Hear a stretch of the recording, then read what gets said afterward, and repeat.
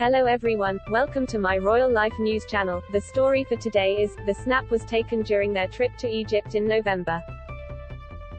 Prince Charles and the Duchess of Cornwall have thanked royal fans for their Christmas well wishes by sending them a sweet picture of themselves in Egypt.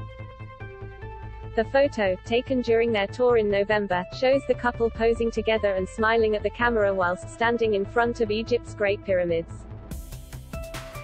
Charles and Camilla visited one of the wonders of the ancient world at sunset, when the picture was taken, and it was their first time doing it together. Their choice of photo is very different from their official Christmas card, which was released back in December. The lovely image, which was taken by royal photographer Samir Hussein, showed Prince Charles sweetly helping his wife Camilla with her face mask at last year's Royal Ascot.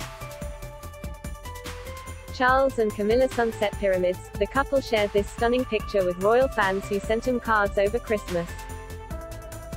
The couple's latest thank you note to royal well-wishers comes just days after the Queen outlined her wishes for her daughter-in-law to be known as Queen Consort in future. On Tuesday, Camilla, 74, was back to royal duties and visited Roundhill Primary School in Bath in her role as patron of St. John's Foundation, a local charity committed to changing lives for good. The Duchess, who is passionate about encouraging a love of reading and writing from an early age, joined three-year-olds in a Language for Life class in the Sunbeams Early Years Room, and 10-year-olds from the Eco Team for a tree planting for the Queen's Green Canopy.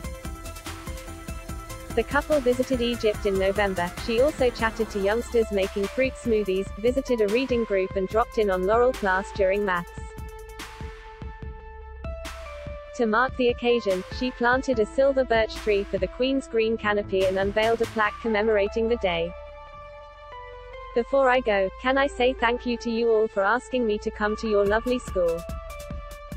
It's a real treat to come here and it's always a pleasure to come back to Bath, which is my home city, she said.